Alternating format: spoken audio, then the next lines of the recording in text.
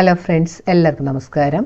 ഇന്ന് ഞാൻ നിങ്ങളോട്ട് ഷെയർ ചെയ്യുന്ന റെസിപ്പി നല്ല കുറുകിയ ചാറോടുകൂടിയുള്ള ഒരു മത്തിക്കറിയാണ്.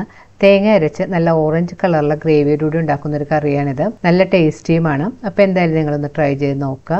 ഈ വീഡിയോ ഇഷ്ടപ്പെടുകയാണെങ്കിൽ നിങ്ങളുടെ ഫ്രണ്ട്സായിട്ടൊക്കെ ഷെയർ ചെയ്യാനും കമന്റ് ഇടാനും ലൈക്ക് ചെയ്യാനൊന്നും മറക്കരുത്. അപ്പോൾ നമുക്ക് ഈ വീഡിയോയിലേക്ക് പോകാം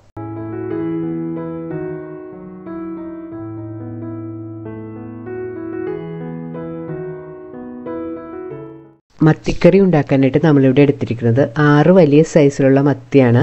മത്തി നല്ലതുപോലെ ക്ലീൻ ചെയ്തെടുത്തതിന് ശേഷം കഴുകി വെള്ളമെല്ലാം കളഞ്ഞ് വെച്ചിട്ടുണ്ട്. കറി ഉണ്ടാക്കുമ്പോൾ എപ്പോഴും നല്ല ഫ്രഷ് ആയിട്ടുള്ള മീൻ തന്നെ ഉപയോഗിക്കാൻ ശ്രദ്ധിക്കുക. എന്നാൽ മാത്രമേ കറിക്ക് നല്ല ടേസ്റ്റ് കിട്ടുകയുള്ളൂ. കറിക്ക് മസാല ഉണ്ടാക്കാനായിട്ട് കുറച്ച് ഇൻഗ്രീഡിയൻസ് വഴറ്റിയെടുക്കണം. ഇവിടെ ഒരു കടായ ചൂടാക്കാൻ വെച്ചിട്ടുണ്ട്. ഇതിലേക്ക് രണ്ട് ടേബിൾ സ്പൂൺ വെളിച്ചെണ്ണ ഒഴിച്ചു കൊടുക്കാം. കറിക്ക് നല്ല ടേസ്റ്റ് കിട്ടാൻ വേണ്ടി വെളിച്ചെണ്ണ തന്നെ ഉപയോഗിക്കാൻ ശ്രദ്ധിക്കുക. വെളിച്ചെണ്ണ ചൂടായി വരുമ്പോഴിലേക്ക് ആറല്ലി വെളുത്തുള്ളിയും ഒരു ഇഞ്ച് നീളത്തിലുള്ള ഇഞ്ചി ചെറുതായിട്ട് ചോപ്പ് ചെയ്തും കൂടെ ചേർത്ത് കൊടുക്കണം. ഇഞ്ചിയും വെളുത്തുള്ളിയും ചേർത്ത് സ്റ്റവ് ഒരു മീഡിയം ഫ്ലെയിമിൽ വെച്ച് രണ്ട് മൂന്ന് മിനിറ്റ് നല്ലതുപോലെ വഴറ്റി കൊടുക്കണം. ഇനി ഇതിലേക്ക് ആറ് ചെറിയ ഉള്ളി കട്ട് ചെയ്തതും കൂടി ചേർത്ത് കൊടുക്കാം. ഉള്ളി ചേർത്ത് കഴിഞ്ഞ് സ്റ്റവ് ഒരു മീഡിയം ഫ്ലെയിമിൽ വെച്ച് രണ്ട് മൂന്ന് മിനിറ്റ് നല്ലപോലെ വഴറ്റി കൊടുക്കാം. ഉള്ളിയിലൊന്ന് സോഫ്റ്റ് ആയിട്ട് വരണം. ഉള്ളി മൂത്ത് ബ്രൗൺ കളറൊന്നും ആകേണ്ട ആവശ്യമില്ല. ഉള്ളിയിലൊന്ന് സോഫ്റ്റായി ചെറുതായിട്ട് കളർ മാറി വന്നാൽ മതി. ഉള്ളിയിലൊന്ന് സോഫ്റ്റായി ചെറുതായിട്ട് കളറെല്ലാം മാറി തുടങ്ങിയിട്ടുണ്ട്. ഇനി സ്റ്റവ് ഒരു ലോ ഫ്ലെയിമിലേക്ക് വെക്കണം. അതിനുശേഷം ഇതിലേക്ക് ഒരു ടേബിൾ സ്പൂൺ മല്ലിപ്പൊടി. ഇനി ഇതിലേക്ക് ഒരു ടേബിൾ സ്പൂൺ മുളക് പൊടി കൂടി ഞാൻ ചേർത്ത് കൊടുക്കുന്നുണ്ട്. മുളക് പൊടി ചേർക്കുന്നത് അര ടേബിൾ സ്പൂൺ കാശ്മീരി ചില്ലിപ്പൊടിയും അര ടേബിൾ സ്പൂൺ സാധാരണ എരിവെള്ള പൊടിയും കൂടെ മിക്സ് ചെയ്ത് വെച്ചിരിക്കുന്നതാണ്. ഇനി ഇതിലേക്ക് അര ടീസ്പൂൺ മഞ്ഞൾപ്പൊടിയും കൂടി ചേർത്ത് കൊടുക്കണം. പൊടികളെല്ലാം ചേർത്ത് കഴിഞ്ഞ് ലോ ഫ്ലെയിമിൽ തന്നെ വെച്ച് രണ്ട് മിനിറ്റ് നല്ലപോലെ വഴറ്റി കൊടുക്കാം. പ്രത്യേകം ശ്രദ്ധിക്കുക ലോ ഫ്ലെയിമിൽ തന്നെ വെച്ച് വഴറ്റാനായിട്ട് അല്ലെങ്കിൽ പൊടി പൊടികളെല്ലാം പെട്ടെന്ന് കരിഞ്ഞു പോകും. പൊടികൾ ചേർത്ത് രണ്ടൊന്ന് മിനിറ്റ് നല്ലപോലെ വഴറ്റിയതിന് ശേഷം സ്റ്റവ് ഓഫ് ചെയ്യാം. സ്റ്റവ് ഓഫ് ചെയ്തതിന് ശേഷം മസാലകൾ വേറൊരു പ്ലേറ്റിലേക്ക് മാറ്റി വെക്കണം. കടായിൽ തന്നെ വെച്ച് കഴിഞ്ഞിട്ടുണ്ടെങ്കിൽ ചൂടുകൊണ്ട് പൊടികൾ ചിലപ്പോൾ കരിഞ്ഞു പോകാൻ ചാൻസ് ഉണ്ട്. വഴറ്റിയെടുത്ത ഇൻഗ്രീഡിയൻസ് തണുക്കാനായിട്ട് മാറ്റി വെക്കണം. തണുത്തതിന് ശേഷം വേണം ഇത് അരച്ചെടുക്കാനായിട്ട്. ഇനി കടായിലേക്ക് കാൽ കപ്പ് വെള്ളമൊഴിച്ച് നല്ലപോലെ മിക്സ് ചെയ്തതിന് ശേഷം മാറ്റി വെക്കാം. ഇത് മസാലകൾ അരച്ചെടുക്കുന്ന സമയത്ത് അതിൽ ചേർക്കാനുള്ളതാണ്. വഴറ്റി വെച്ച ഇൻഗ്രീഡിയൻസ് തണുത്ത് വന്നിട്ടുണ്ട്. അത് മിക്സിയുടെ ഒരു ചെറിയ ജാറിലേക്ക് ഇട്ട് കൊടുക്കാം.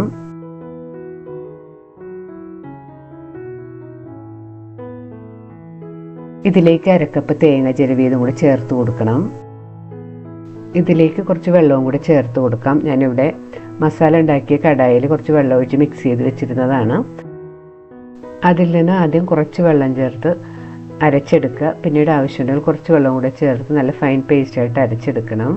കറിക്കായിട്ട് ഈ സൈസിലുള്ള മൂന്ന് കഷ്ണം കുടമ്പുളി എടുത്തിട്ടുണ്ട്. കുടമ്പുളി നല്ലതുപോലെ കഴുകി എടുത്തതിന് ശേഷം അരക്കപ്പ് വെള്ളം ഒഴിച്ച് കുതിരാനായിട്ട് വെക്കണം. ഈ വെള്ളം നേരിട്ട് കറിയിൽ ചേർക്കാനുള്ളതാണ്. അപ്പോൾ പുളി കഴുകിയിട്ട് വേണം വെള്ളത്തിലിട്ട് വെക്കാനായിട്ട്.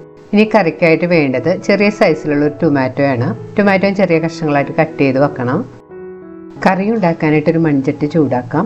മൺചട്ടി ചൂടായി വരുമ്പോൾ ഇതിലേക്ക് മൂന്ന് ടേബിൾ സ്പൂൺ വെളിച്ചെണ്ണ ഒഴിച്ചു കൊടുക്കണം. എണ്ണ ചട്ടിയിലേക്ക് ഒഴിച്ചതിന് ശേഷം ചട്ടി കയ്യിലെടുത്ത് എണ്ണ ചട്ടിയുടെ എല്ലാ ഭാഗത്തേക്കും ആവുന്ന വിധത്തിലൊന്ന് ചുറ്റിച്ചു കൊടുക്കണം. ഇത് നമ്മൾ പല വീഡിയോയിലും പറഞ്ഞിട്ടുള്ള ഒരു കാര്യമാണ്. ഇതൊരു ടിപ്പാണ് ചട്ടി പെട്ടെന്ന് പൊട്ടിപ്പോകാതിരിക്കാനുള്ളത്.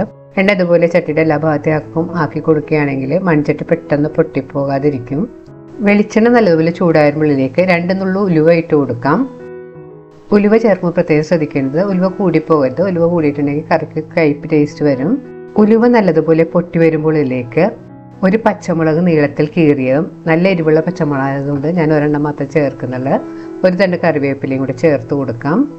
ഇതിലേക്ക് മൂന്ന് ടേബിൾ സ്പൂൺ സവാള കനം കുറച്ച് നീളത്തിൽ അരിഞ്ഞതും കൂടി ചേർത്ത് കൊടുക്കാം. സവാള ചേർത്ത് നല്ലപോലെ വഴറ്റി കൊടുക്കണം. സവാള എല്ലാം ഒന്ന് സോഫ്റ്റായി ചെറുതായിട്ട് കളർ മാറി വരുമ്പോൾ ഇതിലേക്ക് തക്കാളി ചെറുതായിട്ട് ചോപ്പ് ചെയ്തതും കൂടി ചേർത്ത് കൊടുക്കാം. തക്കാളി ചേർത്ത് നല്ലപോലെ വയറ്റി കൊടുക്കണം. തക്കാളിയിലൊന്ന് ഉടഞ്ഞു വരുന്നവരെ വയറ്റി കൊടുക്കാം. തക്കാളി നല്ലതുപോലെ ഉടഞ്ഞു വന്നിട്ടുണ്ട്. ഇനി ഇതിലേക്ക് കുതിർത്ത് വെച്ചിരിക്കുന്ന പുളി ആ വെള്ളത്തോടുകൂടി തന്നെ ചേർത്ത് കൊടുക്കാം. അതിനുശേഷം വീണ്ടും നല്ലപോലെ മിക്സ് ചെയ്ത് യോജിപ്പിക്കാം. പുളിയെല്ലാം ചേർത്ത് രണ്ട് മിനിറ്റ് നല്ലതുപോലെ വഴറ്റിയതിന് ശേഷം ഇതിലേക്ക് അരച്ചു വെച്ചിരിക്കുന്ന അരപ്പും കൂടെ ചേർത്ത് കൊടുക്കാം.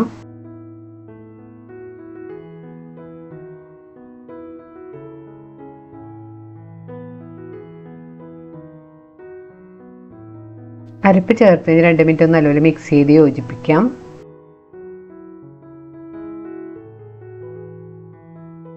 അരപ്പൊന്ന് കുറുകി എണ്ണയെല്ലാം തെളിഞ്ഞു തുടങ്ങിയിട്ടുണ്ട്. ഇനി ഇതിലേക്ക് പാകത്തിനുള്ള വെള്ളം ചേർത്ത് കൊടുക്കണം. അരച്ച മിക്സിയുടെ ജാറിൽ കുറച്ച് വെള്ളം ഒഴിച്ച് നല്ലപോലെ മിക്സ് ചെയ്തതിന് ശേഷം കറിയിലേക്ക് ഞാൻ ഒഴിച്ച് കൊടുത്തിട്ടുണ്ട്. ഞാൻ ഇതിലേക്ക് മൊത്തം ഒന്നര കപ്പ് വെള്ളം ചേർത്ത് കൊടുക്കുന്നുണ്ട്. വെള്ളം ചേർത്ത് നല്ലപോലെ മിക്സ് ചെയ്ത് കൊടുക്കാം.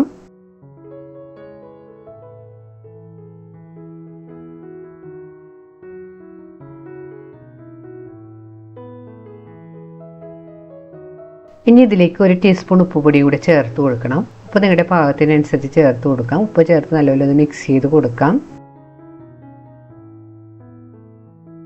ഉപ്പ് ചേർത്ത് നല്ലപോലെ മിക്സ് ചെയ്തതിന് ശേഷം കറി ഒന്ന് തിളക്കാൻ തുടങ്ങുമ്പോൾ ചട്ടി ഒന്ന് മൂടി വെച്ച് രണ്ടൊന്ന് മിനിറ്റ് മൂടി വെച്ചൊന്ന് കുക്ക് ചെയ്യണം.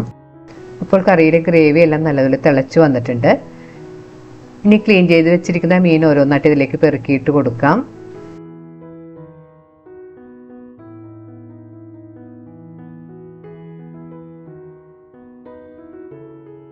മീൻ ചേർത്തതിന് ശേഷം ചട്ടി കയ്യിലെടുത്തൊന്ന് നല്ലപോലെ ചുറ്റിച്ചു കൊടുക്കണം. മീനെല്ലാം ചേർത്ത് കഴിഞ്ഞ് കറി നല്ലതുപോലെ തിളക്കാൻ തുടങ്ങിയിട്ടുണ്ട്. ഇനി കുറച്ച് സമയം ചട്ടി മൂടി വെച്ച് കുക്ക് ചെയ്യണം. ചട്ടി മൂടിയതിന് ശേഷം സ്റ്റവ് ഒരു മീഡിയം ഫ്ലെയിമിൽ വെച്ച് കുക്ക് ചെയ്താൽ മതി. ഇടയ്ക്ക് ചട്ടിയുടെ മൂടി മാറ്റിയതിന് ശേഷം ചട്ടി കയ്യിലെടുത്തൊന്ന് ചുറ്റിച്ചു കൊടുക്കുകയോ അല്ലെങ്കിൽ സ്പൂൺ കൊണ്ട് പതുക്കെ ഒന്ന് മിക്സ് ചെയ്ത് യോജിപ്പിക്കുകയോ ചെയ്യണം.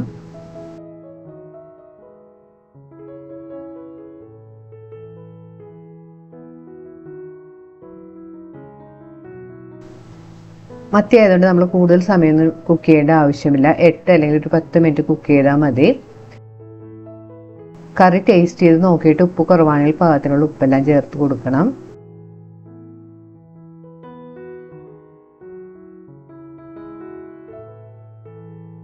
കറി മൂടി വെച്ച് കുക്ക് ചെയ്യാൻ തുടങ്ങിയിട്ട് ഒരു പത്ത് മിനിറ്റ് എല്ലാം ആയിട്ടുണ്ട്. കറി പാകത്തിനെല്ലാം കുറുകി എണ്ണയെല്ലാം തെളിഞ്ഞു തുടങ്ങിയിട്ടുണ്ട്. ഇത് കറി കുറച്ച് സമയം ഇരിക്കുമ്പോൾ ഒന്നും കൂടി കുറുകി വരും.